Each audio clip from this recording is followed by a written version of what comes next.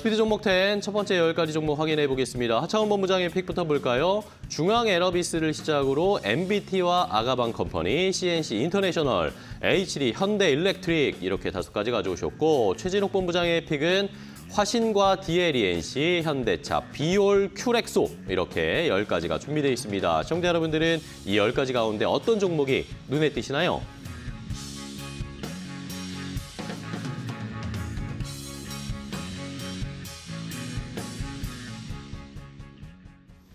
자, 두 분이 이렇게 좋은 종목 10가지, 새해 첫 종목으로 두 분이 가지고 오신 10가지를 공개해드렸습니다. 이 종목들 보셨죠? 시청자분들. 이 종목 가운데 여러분들이 가지고 계셔서 아, 이 종목을 어떻게 끌고 가면 좋을까요? 아니면 관심이 생겨서 매수가, 목표가 알려주세요 하시는 분들은 저희에게 질문을 주시면 됩니다. 유튜브 라이브 댓글창과 샵 3772번 문자로 지금 바로 질문을 주시면 두 분이 답을 해주실 겁니다.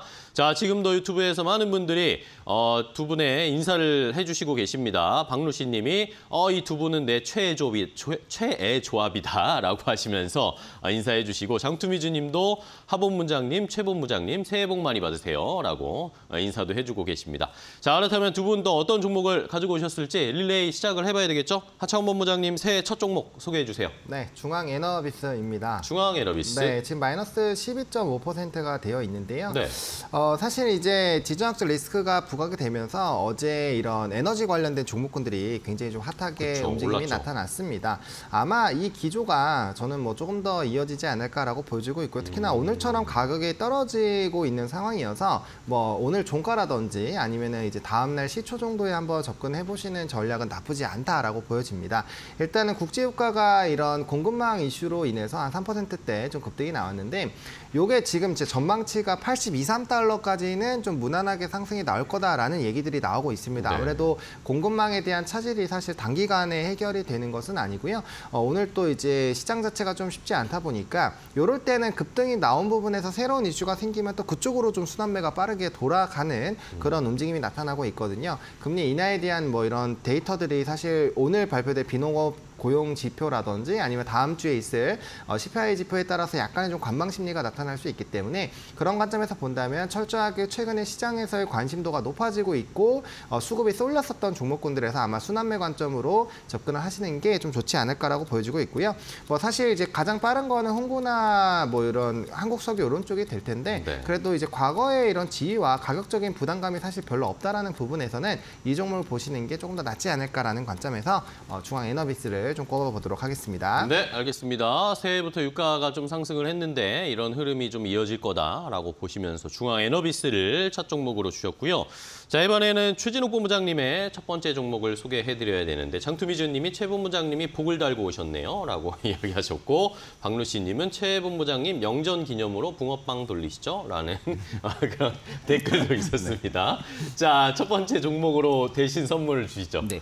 어, 저는 이제 첫 번째로 화신을 좀 준비를 했습니다. 네. 어, 일단 이제 뭐 화신 같은 경우도 지금 뭐 이제 트레이딩 관점으로 봐도 일단 좀 바닥에 잡혔을 가능성이 좀 높은 기업 중에 하나라고 좀 생각을 하고 있고요. 그러니까 올해 같은 경우는 이미 지금 실적 부분들은 작년에서도 이미 어, 개선이 되고 있는 부분들이 좀 확인이 되- 된 상태고 올해 같은 경우는 좀 두 개의 신공장 모멘텀까지도 일단은 가동이 예정이 되어 있는 상태이다 보니까 어, 고부가 차종이 계속 증가를 하면 증가를 할수록 그에 따라 화신 쪽의 믹스 효과 부분들을 충분히 올해는 좀 기대를 해볼 수 있는 가능성이 좀 높지 않을까라는 관점으로 좀 말씀해드리고요. 네. 어 그리고 이제 내년 어, 올해부터죠. 올해부터 이제 현대 기아 차종의 좀 세 개 차종부터는 먼저 좀 납품이 진행이 되고 나서 추가적으로 좀 네 개 차종의 지금 납품이 또 될 예정으로 지금 계획이 잡혀 있는 상태입니다. 어 그만큼 계속해서 좀 외형 성장폭 자체가 올해부터는 본격적으로 좀 나와줄 가능성이 좀 높다고 보고 있는 상태고 어 미국 샤시 부품 신공장 같은 경우도 지금 현재 생산되는 전기차 모델량으로부터 우선 공급이 될 예정까지도 지금 잡혀 있는 상태이다 보니까 네. 올해 같은 경우는 오히려 지금 실적 부분들이 뭐 개선되기보다는 실적이 충분하게 긍정적인 요소로 계속 좀 나와줄 가능성이 좀 높다고 보고 있는 상태고 일단 믹스 효과 부분들을 충분히 기대를 해볼 수가 있기 때문에 그에 따라 좀 영업 이익 부분들도 상당 부분 좀 회복이 될 가능성이 좀 높다고 보고 있는 상태입니다. 어, 그에 비해서 오히려 주가는 작년 하반기부터 굉장히 좀 많이 낙폭을 키워왔던 부분들이 있기 때문에 네. 현 부분에서 바닥이 잡혔다는 부분으로 봐서는 중장기 입형을 지금 어, 지지를 정확하게 해준다라고 하게 되면은 현 부분에서는 충분하게 우상향 기조가 좀 들어와줄 가능성이 높다고 보고 있는 기업 중에 하나입니다. 네, 좋습니다. 화 화신으로 자동차 관련 종목을 하나 최진욱 본부장님은 소개를 해주셨어요. 자 이번에 하창원 본부장님 다음 종목이요. 네, MBT입니다. MBT. 어, 최근에 굉장히 좀 광고 쪽에서 핫한 어, 종목 중에 하나고 제가 이 종목도 오르기 전에 좀 한 두 번 정도 소개를 드렸었던 네, 그런 종목입니다.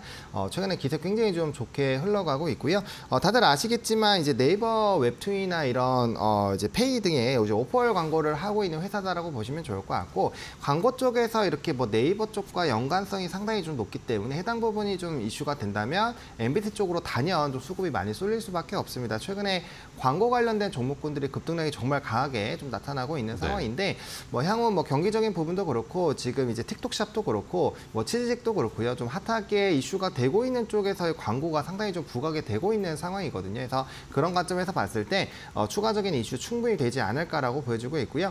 이전에 만 원대까지 한번 올라간 이후에 다시 한번 좀 눌렸다가 다시 올라가고 있는데 최근에 거래량도 상당히 좀 가파르게 움직이고 있고 뭐 주가의 이평선 자체도 상당히 좀 좋은 흐름들이 나타나고 있고요.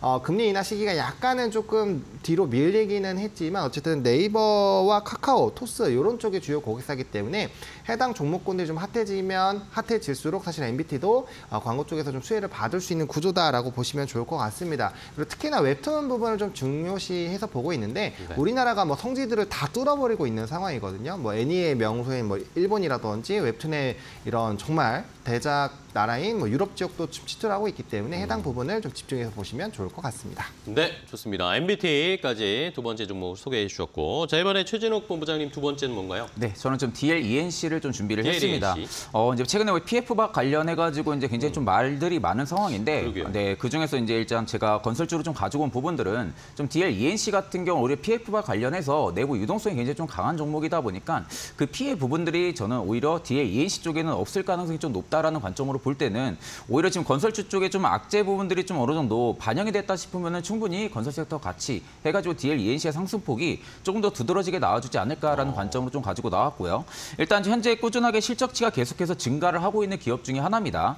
어, 일단 뭐 주택 매출액 부분들이 다소 감소는 하고는 있지만 오히려 지금 마진 개선 효과 부분들이 충분히 나와줄 가능성이 높다고 보고 있고 일단 지금 플랜트 부분의 실적이 계속해서 증가가 나타나고 있는 상태입니다. 네. 어, 그만큼 올해까지도 좀 플랜트 부분들에 있어서 실적치는 계속해서 좀 증가를 해줄 가능성이 좀 높은 기업 중에 하나라고 생각을 하고 있는 상태고요. 어, 또한 이런 좀 이익률 바탕으로 인해서 앞으로 좀 긍정적인 주조 환원 정책까지 충분히 기대를 해볼 수가 있는 기업 중에 하나이다 보니까 어, 올해 같은 경우가 충분하게 좀 빛을 보지 않을까라는 관점으로 좀 말씀을 해드리고요. 어, 일단 지금 건설업계가 우려하고 있는 유동성 문제 부분들이 있어서는 DL, ENC 부분들은 좀 전혀 좀 문제가 없을 것이다라는 관점 다시 한 번 더 좀 말씀을 해드리고 일단 지금 이제 2월 초에 실적 발표 시즌에 들어가면서 오히려 좀 추가적인 주조 환원책까지도 나와줄 가능성이 높기 때문에 오히려 지금 월봉상에서 보게 되면 충분하게 5일선, 21선 지지받아주고 이제는 다시 우상향 기조가 들어와줄 가능성이 높은 구간에 어, 도달을 했기 때문에 충분히 신규분 들은 관심 있게 보셔도 되실 것 같습니다. 네, 알겠습니다. DLNC 어, 주주 친화 정책을 한번 기대를 해보는 어, 개념으로 한번 소개를 해드렸고요. 자 이번에는 하차원 본부장님 다음 종목이요. 아가방 컴퍼니입니다. 아가방 컴퍼니. 뭐 이 종목도 뭐 최근에 출산 정책 관련된 이슈로 좀 상당히 핫하게 움직였다가 뭐 네. 전거래가 오늘 같은 경우 좀 씌워주고 있는 상황인데 해당 종목도 약간 앞서 말씀드린 대로 이제 좀 기술적인 관점으로 접근을 하셔야 되는 종목이다라고 좀 먼저 정리를 드리고 싶고요. 특히나 이제 전거래일에 좀 조정이 강하게 나올 때 기관이 좀 강력하게 좀 수급적으로 유의미하게 들어왔거든요. 그러니까 사실 최근 이 거래일 동안 좀 유의미하게 들어온 쪽이 기타 법인이기 때문에 해당 부분이 좀 이슈가 되고 있는 상황이고 뭐 물론 저는 개인적으로는 이런 출산 정책이 나온다고 해서 바로 막 출산율이 엄청나게 늘어날 거라고는 생각을 안 그렇죠. 하지만 앞으로도 계속적인 이슈가 될 수밖에 없다라는 점 그리고 로봇 섹터가 부각이 되는 것도 결과적으로 이런 출산과 인력과 연관돼서도 계속적인 좀 부각이 되지 않을까라고 보여지고 있거든요. 네네. 그래서 그런 관점에서 본다면 계속적인 이런 정책에 대한 이슈가 나올 수 있고 또 총선이 또 다가오고 있기 때문에 결국엔 인물 테마 쪽도 움직이겠지만 이런 정책적인 관련된 부분들도 충분히 움직일 수 있고 요 출산 쪽과 교육 쪽도 같이 움직이는 경향이 있거든요. 그래서 그런 관점에서 봤을 때는 앞으로도 계속적으로 좀 이슈가 어, 될 수밖에 없지 않을까라고 보여지고 있는 상황이고 또 이제 바닥권에서 이제야 막 거래량 동반해서 뭐 거의 정말 오랜 기간 쉬었거든요. 이 종목이 그쵸. 올해 4월부터 계속 쉬다가 드디어 거래량 동반해서 좀 돌파가 나오고 있는 상황이어서 충분히 좀 수급적인 흐름에서의 좀 강한 시장이 나타나고 있는 현 시점에서는 어, 좀 이렇게 눌릴 때 좀 관심 있게 보실 필요가 있지 않을까 정도로 정리를 드리겠습니다. 네, 좋습니다. 아가방 컴퍼니 저출산 대책 어떻게 나올지 또 지켜보면서 한번 확인해 보겠고요. 이번에는 최진욱 본부장님의 다음 종목이요. 네, 저는 또 현대차를 좀 준비를 했습니다. 현대차. 네, 일단 현대차 같은 경우는 현재 뭐 주가 부분들은 좀 피크하고 우려 부분들은 대부분 다 반영이 어, 됐다고 저는 좀 생각을 하고 있고 네. 그렇다면 이제는 좀 주가가 우려보다는 견조하게 지금 유지가 되고 있는 실적에 올해는 좀 주가가 반응을 해주지 않을까라는 관점으로 좀 가지고 나왔습니다. 일단 4분기에도 뭐 판매 실적 역시 좀 기대치를 상회할 것이라고 지금 생각은 하고 있는 상태인데 그만큼 작년에도 뭐 10월, 11월 자동차 판매량 부분들이 어, 역대 좀 최대 판매량도 달성을 하면서 계속해서 좀 견조한 실적치를 꾸준하게 좀 유지를 해주고 있는 기업입니다. 어, 그렇기 때문에 지금 상황에서는 뭐 실적에 대한 부분들의 주가가 움직이고 있는 부분들은 아니지만 일단 피카 우려 부분들이 대부분 다 현대차 쪽에 반영이 됐다고 하게 되면은 일단 실적에 좀 반응을 충분히 올해는 좀 해줄 가능성이 좀 높지 않을까라는 관점으로 좀 말씀해드리고요. 어, 일단 지금 볼륨 하이브리드 모델 출시 부분들과 이- 있어가지고 유연 생산 체계 구축으로 인해서 어, 전동화 지원 부분들은 좀 오히려 현대차 부분들에 있어서는 좀 타격이 크지 않을 거라고 지금 생각을 하고 있는 상태고 오히려 올해 같은 경우는 판매 성장이 계속 좀 지속이 될 가능성이 좀 높은 상황이라고 저는 좀 생각을 하고 있습니다. 어, 그래서 지금 미국 전기차 공장이 완공이 되는 시기 한 2024년 말 이나 25년 초에는 오히려 지금 세액 공제 혜택까지도 충분하게 받아볼 수 있는 상황이다 보니까 오히려 좀 현대차 같은 경우는 최근에 좀 낙폭이 강하게 나와주는 부분에서 중장기 입형을 좀 크게 이탈을 안 해준다라고 하게 되면은 충분히 신규분들도 이제부터는 좀 가치 투자를 충분히 진행을 해보셔도 나쁘지 않을 거라고 보고 있기 때문에 현 부분에서 크게 밀리지 않는다고 하게 되면은 충분하게 매수 관점 보셔도 나쁘지 않을 거라고 보고 있습니다. 네, 알겠습니다. 현대차 탄탄한 실적 판매를 기반으로 뒷받침하면서 중장기적인 투자 한번 언 어, 제안을 해드렸습니다. 이번에 하차원 본부장님의 다음 종목은 뭔가요? 네, 어, CNC 인터내셔널입니다. CNC 인터내셔널. 네, 올해는 OEM을 안 들고 와야지라고 얘기를 해- 어, 생각을 네. 좀 하고 있었는데 다시 뭐, 찾아왔습니다. 네, 다시 찾아왔습니다. 왜냐면은 뭐 최근에 분위기가 너무 좋거든요. 그래서 뭐 사실 CNC 인터내셔널뿐만 아니라 정말 작년부터 많이 말씀드렸던 뭐 코스메카 코리아라든지 뭐 네. 잉글우드랩이라든지 이런 쪽 OEM 쪽이 또 최근에 굉장히 흐름들이 나쁘지 않기 때문에 어, 지속적인 좀 관심이 필요하지 않을까라고 보여지고 있고요. 제가 이쪽을 다시 들고 온 게 사실 여러 가지 이유가 있는데 일단 기본적으로는 실적입니다. 이렇게 어, PR 부분에서의 좀 부담감이 강화가 된다라고 했을 때는 산업적인 성장성이 유지가 된다거나 아니면 실적적으로 굉장히 좋은 기조가 나타나는 기업들이 단연 주목을 받을 수밖에 없는데 화장품 OEM 쪽은 대부분의 종목군들이 실적도 신고가를 찍고 있고 최고 실적이 경신이 되고 있는 그런 상황이거든요. 그리고 수출 데이터를 보시더라도 굉장히 좋게 나타나고 있고 그게 국내에 치중되는 것이 아니라 중국 외 지역에서 특히나 뭐 미국, 일본, 어, 유럽 쪽에서 의좀 강한 기조가 나타나는 기업들이 좋은 흐름들이 나타나고 있습니다. 게다가 또 좀 플러스 알파로 최근에 이제 뭐 주조 환원 정책이라든지 이런 지분 경쟁이 나올 때마다 주가가 또 흔들림이 어, 굉장히 좀 급하게 움직이게 나타나는데 또 자산운용사에서 작년 하반기부터 계속적으로 이쪽 관련된 회사들의 지분을 확대를 하고 있어요. 어. 그러니까 뭐 CNC 인터내셔널도 마찬가지고 코스메카도 그렇고요. 그래서 그런 기타 법인에서의 좀 우호적인 수급 흐름들도 나타나고 있기 때문에 상당히 수급적으로도 좀 기대감이 생길 수밖에 없다. 그리고 OEM 쪽은 지금 아직 까지 시장이 굉장히 좀 빠르게 성장을 하고 있기 때문에 이런 산업의 성장 흐름들 계속적으로 누려보셔도 좋지 않을까라고 말씀을 드리겠습니다. 네, 알겠습니다. CNC 인터내셔널까지 작년에 또 하창원 본부장님이 사랑하셨던 종목 중에 하나였죠. 어, 실적 기반으로 실적 시즌 또 이제 다가오고 있으니까 좋은 종목 미리 좀 담아 보도록 하겠습니다. 자, 이번에는 최진욱 본부장님 다음 종목 뭐죠? 네, 저는 좀 비올을 좀 준비를 비올. 했습니다. 네, 비올 같은 경우도 뭐 현재 지금 고점을 다시금 좀 돌파를 해주려는 모습들이 나왔다가 소폭 좀 밀리고 있는 부분들인데 사실 뭐 거래량이 이렇게 터지면서 밀리고 있는 부분들이 아니다 보니까 충분하게 좀 고점은 좀 재탈환을 해줄 가능성이 좀 높다라는 관점으로 좀 말씀을 해드리고요. 일단 수급적인 면을 봐도 좀 기관이라든지 뭐 금융투자, 뭐 투신, 보험 할 거 없이 계속해서 좀 저는 지금 현 구간에서도 물량을 좀 매집을 하고 있는 모습들이 계속해서 저는 좀 포착이 되고 있는 상황이다 보니까 네. 어, 비율 같은 경우는 올해도 충분하게 외형 성장폭과 실적 성장폭이 같이 좀 나와주면서 충분히 주가에 좀 레벨업이 계속해서 좀 나와주지 않을까라는 관점으로 좀 말씀해드립니다. 뭐 현재도 지금 북미 시장을 고르게 해서 계속적으로 각지 어, 전 세계 각지 부분들의 제품 공급량이 꾸준하게 좀 늘어나고 있는 기업 중에 하나고요. 어, 특히 이제 비율 같은 경우가 북미 시장에서 매출 비중이 한 30% 정도 육박을 하기 때문에 그만큼 좀 북미 시장 쪽에서는 좀좀 중요한 성장 요소라고 좀 말씀을 해드립니다. 어, 다만 지금 비율 같은 경우 북미 시장에서 지금 시장 점유율 부분들 한 1% 내외밖에 되지가 않다 보니까 어, 앞으로 올해 같은 경우는 좀 점유율을 확보를 계속하면서 그에 따른 좀 매출액 부분들이 좀 긍정적으로 나와줄 가능성이 좀 높다라는 관점으로 좀 말씀을 해드리고요. 어, 또한 올해 좀 실펌 X 부분들이 브라질과 중국 진출까지도 지금 예정이 되어 있는 상태입니다. 어, 그러다 보니까 좀 신제품 판매가 만약에 좀 본궤도에 들어선다라고 하게 되면은 올해 같은 경우도 중장기적인 성장 여력은 계속해서 좀 이어질 가능성이 좀 높은 기업이라고 생각을 하고 있고요. 네. 어, 그만큼 지금 부근에서 좀 큰 폭으로 밀리지 않고 5일선을 좀 충분히 지지해준다라고 하게 되면은 충분하게 다시 한 번 더 고점은 어, 재탈하는 가능성이 좀 어. 높다라는 관점으로 말씀해드리겠습니다. 네, 알겠습니다. 비올까지 소개해 주셨는데 유튜브에서 장투미준 님이 비올을 부득이하게 장기 투자하고 있습니다.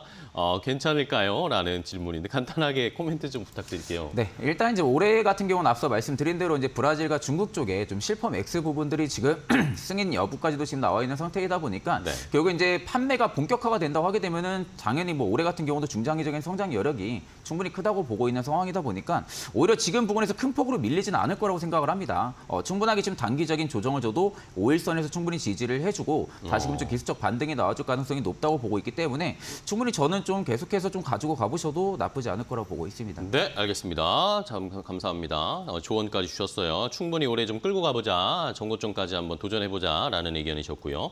자, 이번에 하차원 본부장님 다섯 번째 종목이죠? 네, HD 현대 일렉트릭입니다. 네. 이것도 좀 계속 보시면 좋을 것 같은데 뭐 사실 이 종목도 작년부터 정말 지겹도록 많이 변압기 쪽 돌아가면서 많이 말씀을 드렸는데 어, 일단 변압기 쪽도 산업의 사이클 자체가 전혀 죽지 않았다라는 부분을 좀 어. 강조를 드리고 싶습니다.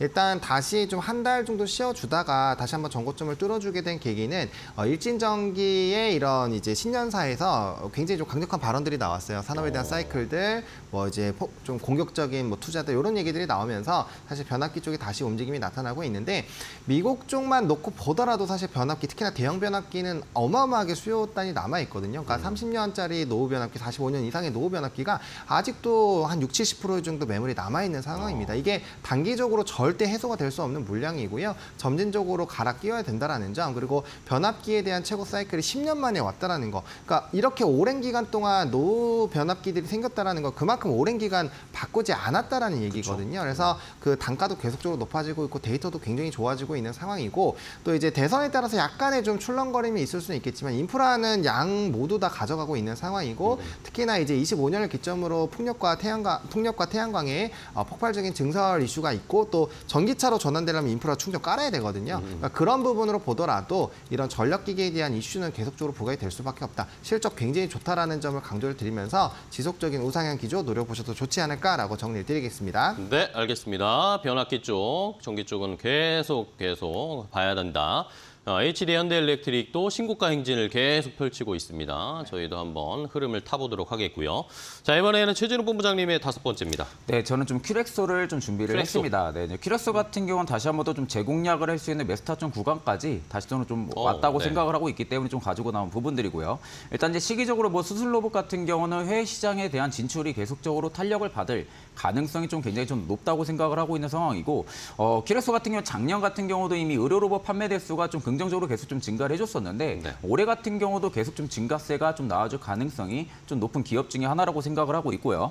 거기에 지금 소모품 판매 매출까지 지금 증가할 가능성이 굉장히 좀 높다고 보고 있기 때문에 오히려 점진적으로 이익률 개선 부분들은 확실하게 나와줄 가능성이 좀 높은 기업이라고 생각을 하고 있습니다. 어, 특히 또 이제 큐베스 조인트 같은 경우도 지금 인지도가 굉장히 좀 높은 상황이다 보니까 좀 앞으로 계속해서 좀 판매량이 충분히 좀 높아질 가능성이 좀 높다라는 관점으로 좀 말씀을 해드리고 일단 중장기적으로 봐도 지금 관절 수술 로봇 같은 경우도 중국과 미국 쪽에 지금 시장 진출까지도 앞두고 있는 상황이다 보니까 오히려 좀 추가적인 성장 모멘텀이 올해 2024년에는 좀 발휘가 되지 않을까라는 관점으로 좀 말씀을 해드립니다. 네. 그래서 결론적으로 올해는 좀 핵심 의료 로봇 사업 부분들이 있어가지고 고성장에 따라가지고 좀 수익성이 충분하게 좀 회복이 될 가능성이 좀 높은 기업이라고 생각을 하고 있기 때문에 어, 충분하게 신규분들은 지금 부근에서 좀 매수 관점을 가지셔도 나쁘지 않을 거라고 보고 있고요. 어, 앞으로 좀 이익 측면에서도 올해는 좀 긍정적인 신호가 계속 들어와줄 가능성이 높다고 보고 있습니다. 어, 그렇기 때문에 좀 61선을 만약 좀 지지를 해주고 이탈을 안 한다라고 하게 되면은 올해 좀 거래량이 한 번더 어, 순간적으로 좀 몰리면서 한 번 더 좀 기준봉을 좀 세워줄 가능성이 좀 높다고 보고 있기 때문에 충분히 관심 있게 보셔도 나쁘지 않을 거라 보고 있습니다. 네, 좋습니다. 자, 큐렉소까지 이렇게 두 분이 10가지 종목을 소개해드렸는데요. 저희가 이렇게 전해드리는 방송 내용은 시청자 여러분들의 투자에 참고가 되는 내용 알려드리는 겁니다.